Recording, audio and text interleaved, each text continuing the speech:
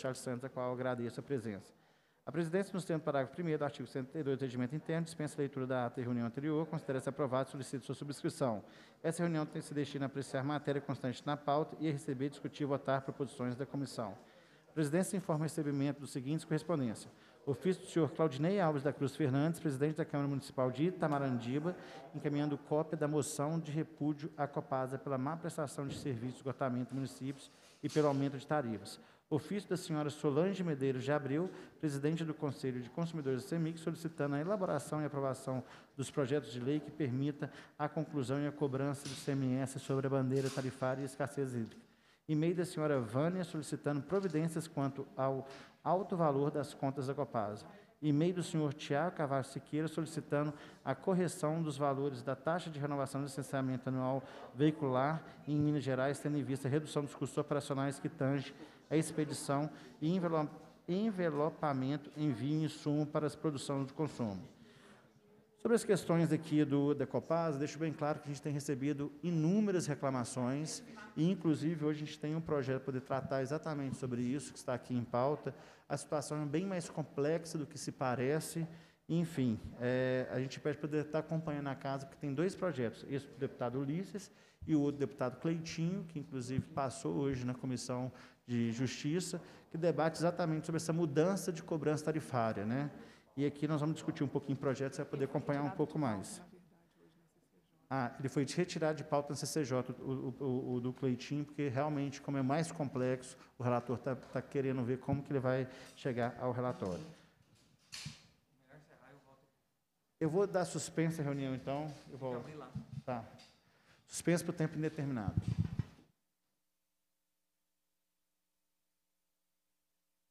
São das correspondências. É, a Solange pede para que seja retirado o CMS da bandeira tarifária da escassez hídrica. É, e, enfim, vamos ver o que a gente pode fazer a respeito disso. Sobre o e-mail do Tiago Carvalho Cerqueira, pedindo para diminuir a taxa de renovação do licenciamento anual veicular. É, eu curti muito, Tiago, parabéns aí pela sua, sua proatividade. Deixo claro que este deputado aqui já entrou com requerimento exatamente dentro desses moldes, pedindo uma vez que é, a, a, a, taxa de licenciamento não é mais emitida, né, agora é via virtual, que claramente caiu custos com isso, inclusive de impressão e de envio até cada, cada contribuinte, sendo assim, deveria cair também o custo dessa taxa. Infelizmente, a resposta foi negativa e, caso o senhor queira ter mais é, é, é conhecimento a respeito, peço que o senhor mande um e-mail para nosso gabinete diretamente ou nas nossas redes sociais, deputado Bartô, para que a gente possa encaminhar é, tanto o requerimento quanto a resposta do requerimento. Passa a primeira ordem do dia, que compreende a discussão e a votação dos pareceres sobre a proposição sujeitas à apreciação do plenário. Projeto de lei número 149 de dois, projeto de resolução número 149 de 2021, em primeiro turno, de autoria do deputado Ulisses Gomes, e o relator será o deputado Charles Santos. Questiona o relator se ele está apto a ler o seu relatório. Sim, senhor presidente. Fique à vontade, por favor. Obrigado, presidente. De autoria do deputado Ulisses Gomes, a quem queremos cumprimentar pela presença, a proposição em exame visa sustar os efeitos do artigo 2 da Resolução 154, de 28 de junho de 2021, da ARSAI-MG, que estabelece a cobrança pelo serviço de esgotamento sanitário sem diferenciação tarifária em, relação, em razão da existência ou não de tratamento de esgoto coletado para cada usuário. A Comissão de Constituição e Justiça entendeu que o dispositivo em referência viola o disposto no artigo 2 da Lei 12.990, de 30 de julho de 1998, que dá nova redação ao artigo 1 da Lei 12.762, de 14 de janeiro de 1998, a qual autoriza o Poder Executivo a aumentar e a integralizar o capital social da Companhia de Saneamento de Minas Gerais, Copasa, e da outras providências, bem como o disposto uh, no artigo 10 da Lei 18.309, de 3 de agosto de 2009, que estabelece normas relativas aos serviços de abastecimento de água e de esgotamento sanitário, cria a Agência Reguladora de Serviços de Abastecimento de Água e de Esgotamento Sanitário do Estado de Minas Gerais, ARSAI, e dá outras providências. Em razão disso, a referida comissão concluiu que o caput do artigo 2 da Resolução 154 de 2021 da ARSAI-MG contraria a legislação estadual anteriormente referida, extrapolando assim o poder regulamentar e adentrando em matéria que só poderia ser revista pelo poder legislativo, o que enseja o pedido de sustação dos seus efeitos. Com efeito, os referidos dispositivos, especialmente o artigo 10 da Lei 18.309 de 2009, somente poderá ser cobrada tarifa pelo serviço efetivamente prestado, prestado salvo a tarifa mínima pela disponibilidade do serviço para a anuidade do consumidor. Pretendem tutelar o direito dos consumidores, coadunando-se com os direitos básicos do consumidor referidos no artigo 6 do Código de Defesa do Consumidor, notadamente os incisos 5, ou seja, a modificação das cláusulas contratuais que estabeleçam presta prestações desproporcionais ou sua revisão em razão de fatos supervenientes que as tornem excessivamente onerosas. E o inciso 10, a adequada e eficaz prestação dos serviços públicos em geral. Diante dos postos, senhor presidente e demais companheiros, opinamos pela aprovação do projeto de resolução 149 de 2021, na forma do substitutivo número 1, aprovado na Comissão de Constituição e Justiça. Este é o parecer, senhor presidente. Obrigado, senhor relator. Em discussão, parecer. Eu gostaria de fazer minhas considerações, uma vez que é, essa resolução realmente gerou um pouco de estranheza para nós, porque se trata exatamente de cobrar a coleta e o tratamento do esgoto junto à conta de água. Né?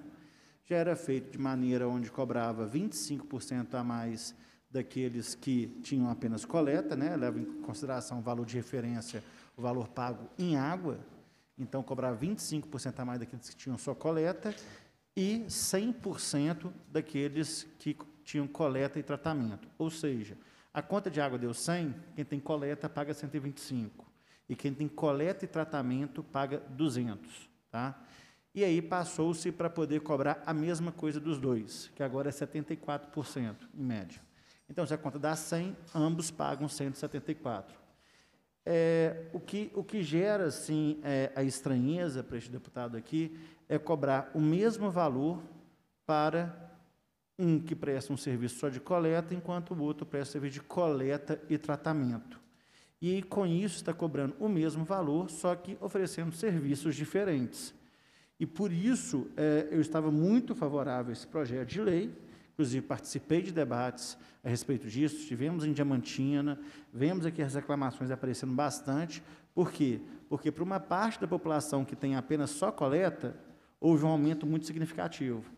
E para grande parte da população, né, para grande parte, sim, né, 70%, segundo os números, das pessoas que têm coleta e tratamento, é, houve uma diminuição, uma diminuição pequena. Então, para quem teve aumento, o aumento foi considerável e isso gerou grande revolta na população e por isso chegam as reclamações a todos nós.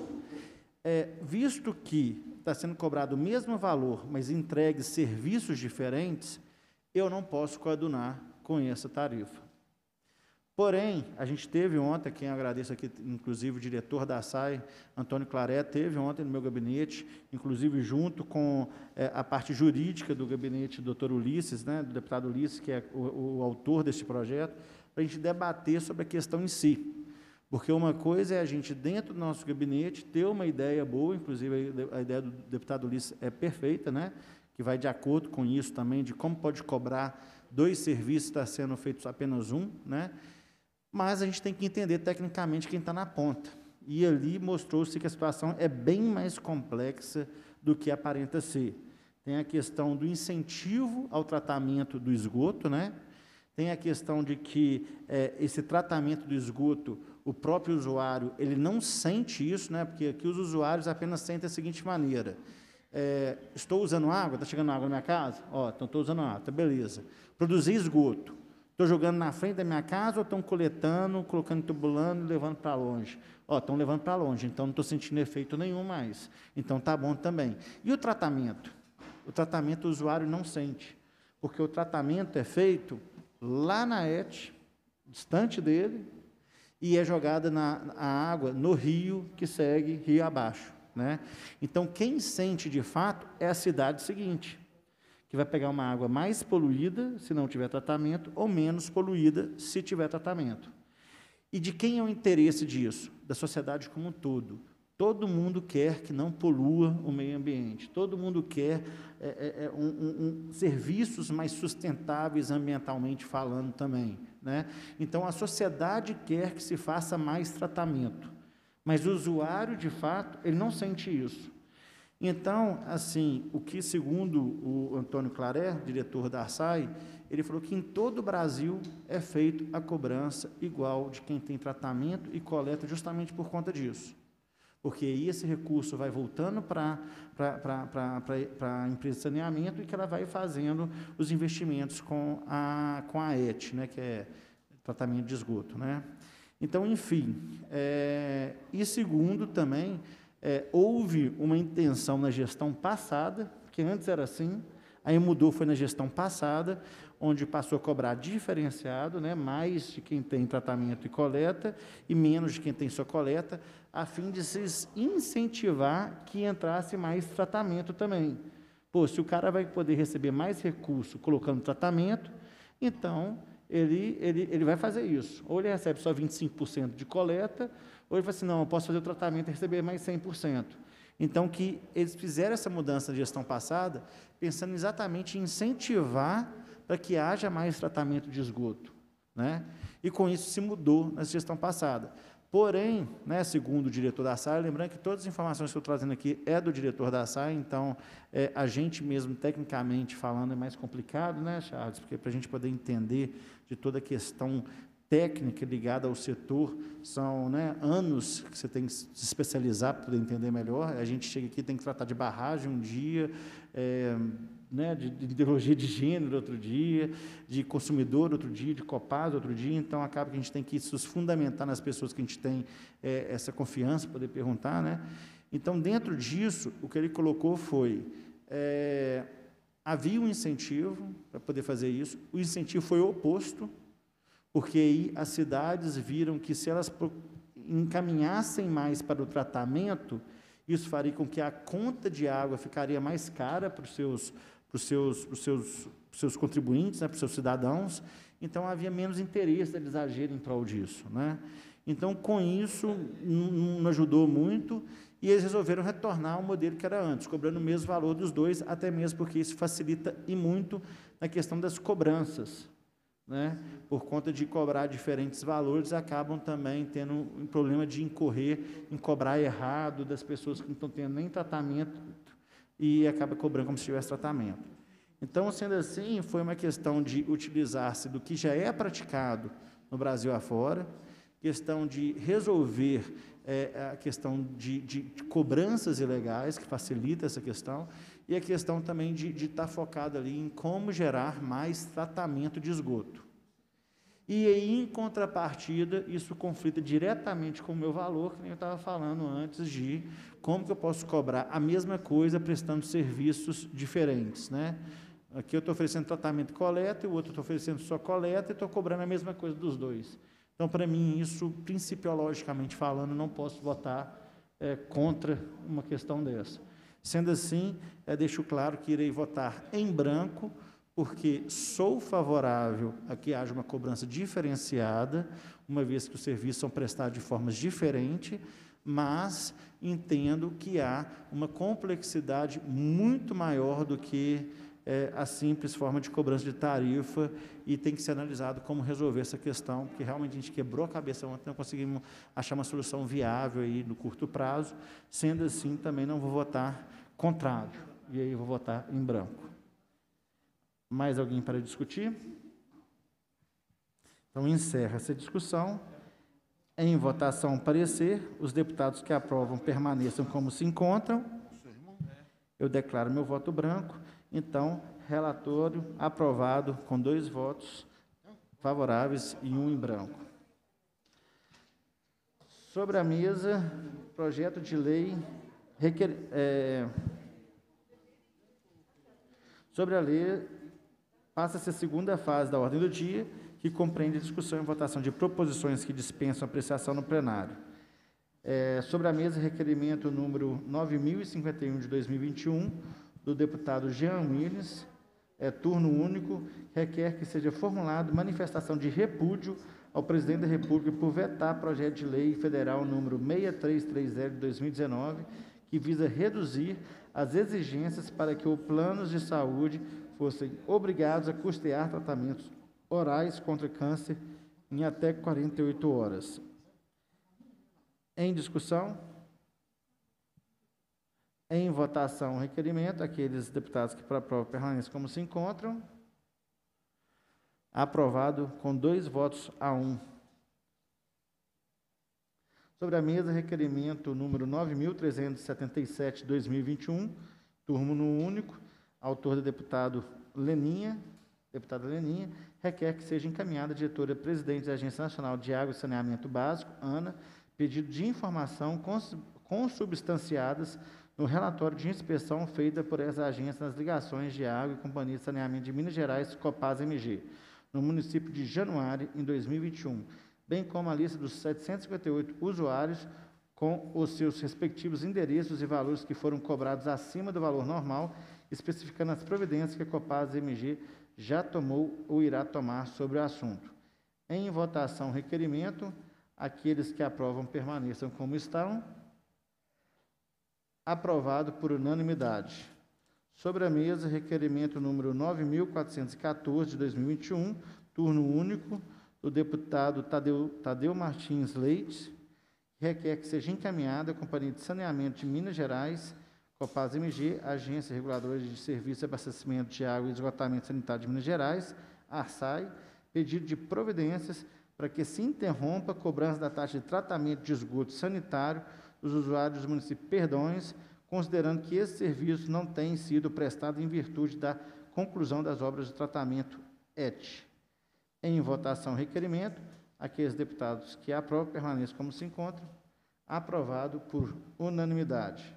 Sobre a mesa, requerimento número 9.459, de 2021, em turno único, da Comissão Extraordinária de Energias Renováveis dos Recursos Hídricos, requer que seja encaminhado à Secretaria de Estado de Desenvolvimento Econômico, sede, pedido de providência para que sejam revistos os prazos relativos ao processo de revisão tarifária extraordinária da Companhia de Gás de Minas Gerais, Gasmig, conforme solicitação da FIENG.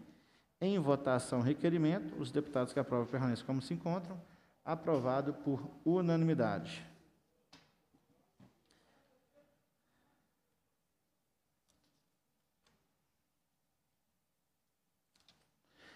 Passe a terceira fase da ordem do dia, que compreende o recebimento, que compreende o recebimento, a discussão e a votação de proposições da comissão. Sobre a mesa, requerimento do deputado Cristiano Silveira, que requer é, que seja encaminhado ao Ministério Público de Minas Gerais e ao Tribunal de Contas pedidos de providência para que se apurem as legalidade e moralidade da resolução número 151 e 156 da Agência Reguladora de Serviços de Abastecimento de Águas e Esgotamento de Serviços de Minas Gerais, ASAI, com o objetivo de suspender sua vigência que estabelece a cobrança das tarifas de esgotamento sanitário para todo cidadão mesmo que não fazem o uso do tratamento de esgoto. A medida prejudica os mais pobres e a região com menos infraestrutura ao cobrar do cidadão que não tem por objetivo tratamento de esgoto valor igual aos do que fazem a coleta de saneamento. Em votação requerimento, os deputados que aprovam permaneçam como se encontram. Aprovado por unanimidade. Repasso a presidência agora para o deputado Elismar Prado, uma vez que o requerimento que está na mesa é de minha autoria.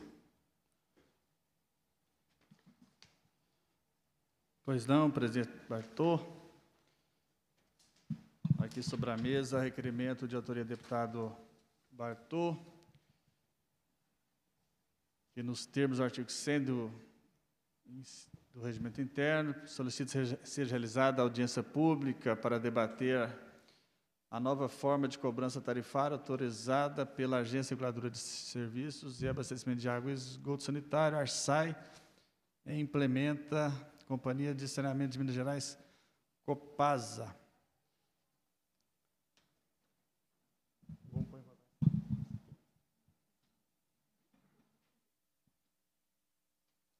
Em votação, os deputados que aprovam permaneçam como se encontram. Aprovado o requerimento. Devolvo a presidência ao deputado Bartol. Muito obrigado, Lismar Prado, deputado sempre presente aqui nesta comissão, titular da vaga, né? Fazendo jus aí à sua cadeira e sempre muito amigo, sempre ajudando aí do que pode. É, nossa reunião já está para encerrar, mas finalmente eu gostaria apenas de chamar a atenção de como que realmente essa, essa mudança de tarefas feita pela Copaz gerou tanta insatisfação, porque aqui hoje a gente teve um projeto de resolução para poder tirar essa tarifa, teve requerimento pedindo audiência pública a respeito disso, teve requerimento pedindo para que o Ministério Público e o Tribunal de Contas averiguem a legalidade e moralidade disso, teve um requerimento pedindo para poder sustar a cobrança é, de tratamento, uma vez que a cidade não tem tratamento, né?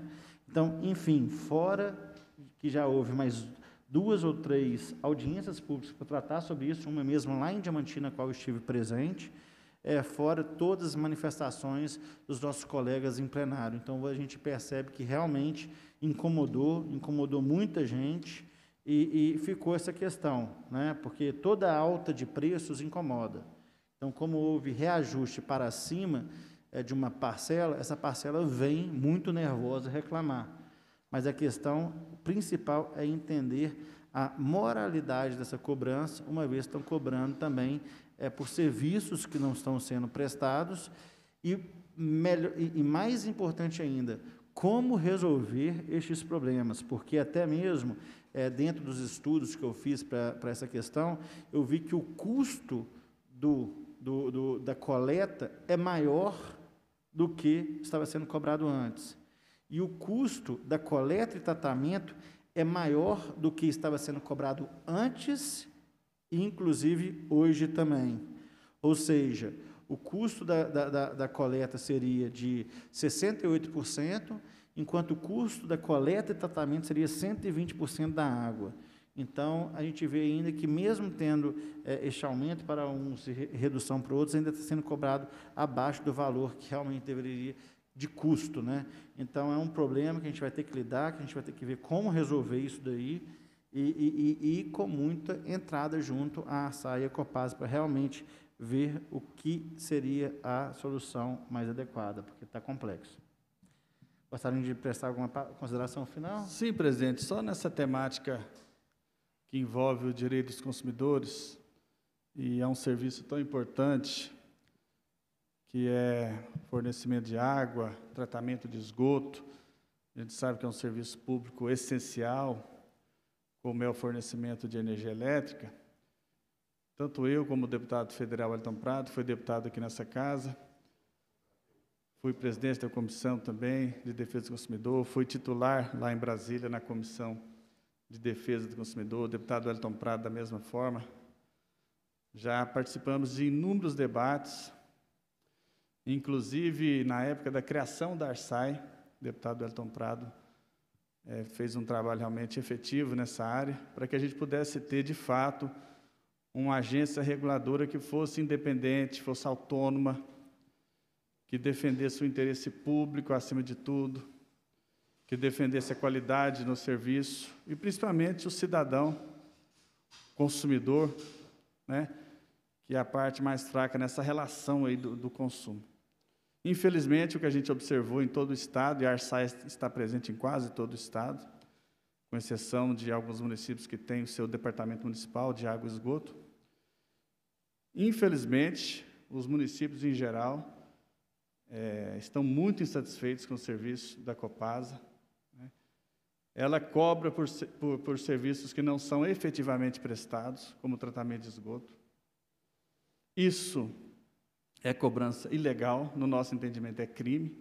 Você cobra do cidadão que paga a sua conta, mas não oferece o serviço. Né? Então, eu quero ressaltar que não existe independência de fato da agência reguladora. Ela não defende, acima de tudo, o interesse público do consumidor mineiro. O cidadão paga uma conta extremamente cara, a conta de água da Copasa é muito cara, sempre acima da inflação. E ela sempre está almejando lucros também, dividendos, para distribuir aos seus acionistas. Na audiência pública nós discutimos isso. Né? Houve uma autorização de milhões e milhões, não me recordo o número agora, em plena pandemia, a população sofrendo com dificuldade de emprego, de renda, e pagando tarifas abusivas na conta de água. E pagando ainda por serviços que não são prestados. Né? E a Copasa, inclusive com relação à tarifa única, alegava que, que seria contra Ora, é um discurso muito fácil esse. A gente sabe que existe uma sintonia entre Copasa e Arsai. A Arsai, de fato, não se posiciona como agência reguladora do setor, para que ela cumpra o seu papel mais importante, que é defender o interesse do Estado. Ela, ela defende, acima de tudo, o interesse do mercado, tudo é o mercado. Né? Então, os acionistas não podem perder nem sequer um centavo, mas a população é que paga o pato. E, lamentavelmente, é o que a gente tem assistido. Por isso, meu total apoio ao projeto do deputado Ulisses Gomes.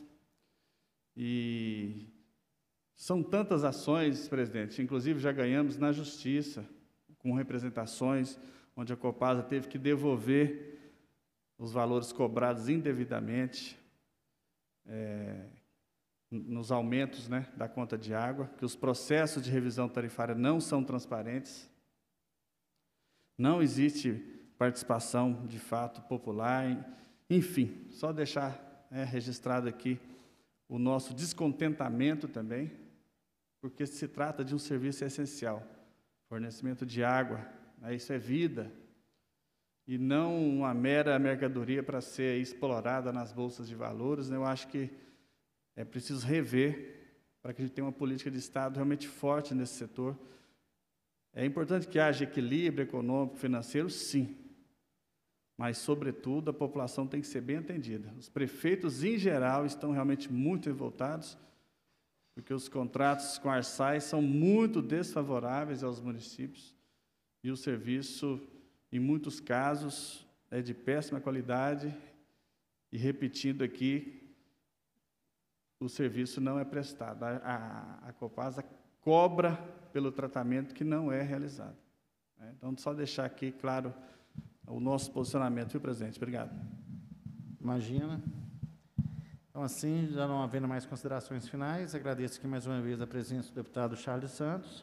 Cumprida a finalidade da reunião, a presidência agradece a presença dos parlamentares, determina a laboratória da ata e encerra os trabalhos.